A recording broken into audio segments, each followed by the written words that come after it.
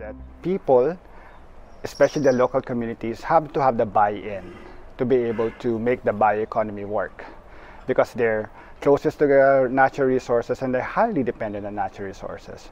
So we need the participation of the local communities uh, in partnership with the local governments, with the academe and the private sector, and to be able to bring those synergies together and scale it up from the local to the national and then the regional. Uh, we also have to take into account the sustainable development goals and how they all interrelate um, in order to make um, a bioeconomy business uh, sustainable for the long term. I think one way to make um, a bioeconomy sustainable or a driving factor would be um, for government to help uh, small business or indigenous or marginalized groups have access to finance.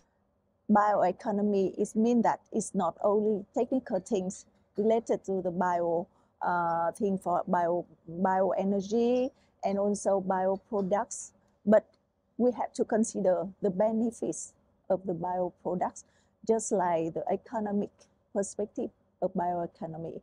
So in order to uh, transforming to the sustainable way of the bioeconomy, we have to consider many, many uh, things. For example, like we have to consider a social aspect.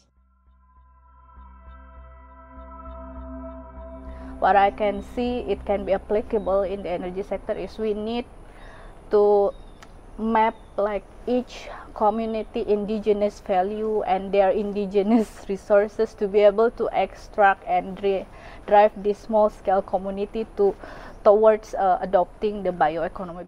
The development of bioeconomy uh, is driven by many factors uh, and one of the most important uh, driver is of course the active participation of the government and also government agencies. Why? Why government and government agencies? This is because they are the one who actually develop the policies